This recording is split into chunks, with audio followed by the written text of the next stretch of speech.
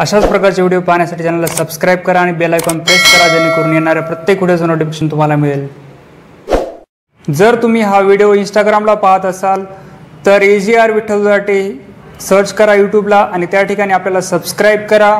जर तुम्ही हा व्हिडिओ यूट्यूबलाच पाहत असाल आणि नवीन असाल तर आपला यूट्यूब चॅनल सबस्क्राईब करा. जर तुम्हाला क्रॉप सायन्सचे स्पेशल क्लासेस करायचे असतील तर तुम्ही Dudhate academy learning app download करा. त्याची डिस्क्रिप्शन लिंक दिलेली आहे खाली. आणि तिसरी गोष्ट आपलं Telegram channel crop science with Vitthal sir search करा. त्या ठिकाणी जॉईन व्हा. त्या ठिकाणी आपण तुम्हाला सर्व प्रकारचे स्टडी मटेरियल प्रोव्हाइड करू. ठीक आहे? नमस्कार विद्यार्थी मित्रांनो. आपला आजचा टॉपिक आहे नायगर. नायगर म्हणजे काय असतं? तर कारळ असतं. आणि त्याचा वापर आपण स्पायसेस मसाले म्हणून आपण त्याचा वापर करत असतो. ठीक आहे? चला तर सुरू करू मग. इंट्रोडक्शन आता नायगर कसं क्रॉप आहे हे मायनर क्रॉप आहे. एक्झामच्या दृष्टीनं तेवढं महत्त्वाचं नाही आहे पण तुम्हाला एम सी क्यूसाठी त्या ठिकाणी तुम्हाला एक किंवा दोन मार्कासाठी ते विचारलं जातं एक्झाममध्ये ठीक आहे? तर याचं ऑइल पर्सेंट पाहून घ्या. थर्टी सेवन ते फोर्टी सेवन पर्सेंट त्याचा ऑइल पर्सेंट आहे.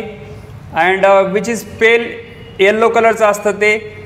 नटी टेस्ट असते आणि प्लिझंट ओडर असतो त्याचा. And the oil is used for culinary purpose वेगवेगळ्या याच्यासाठी आपण ते वापरतो. Anointing the body and manufacturing paints पेंटचं manufacturing करण्यासाठी आपण सुद्धा त्याचा वापर करतो. आणि सॉफ्ट सोप्स बनवण्यासाठी पण आपण त्याचा वापर करतो. ठीक आहे? नेक्स्ट आता त्याचं बॉटॅनिकल नेम पाहून घ्या.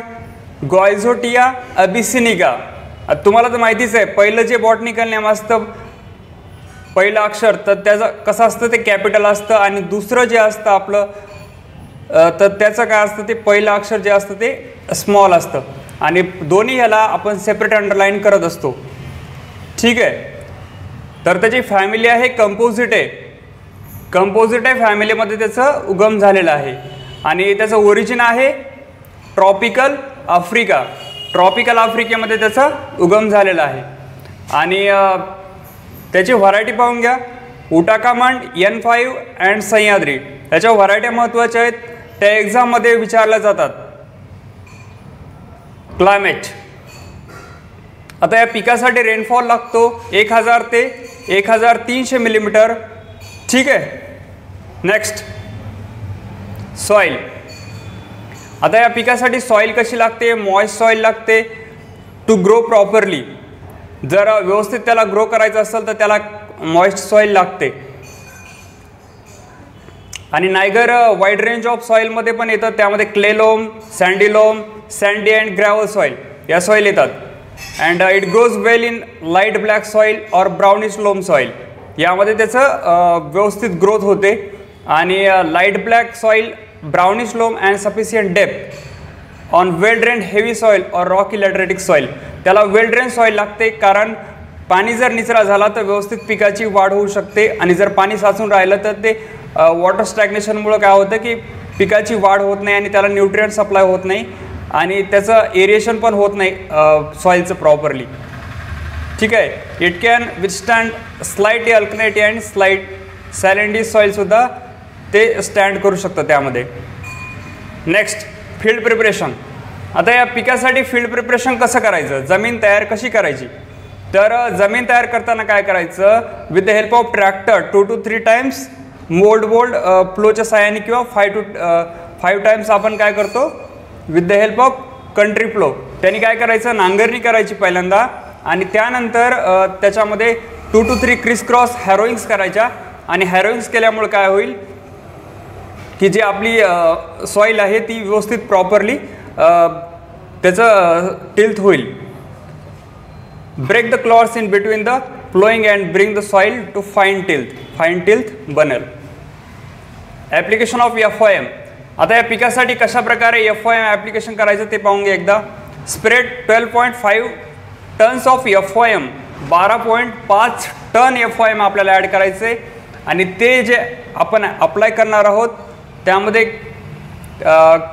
कंपोजिट क्वायर पीठ ते पण ॲड करायचे ठीक आहे?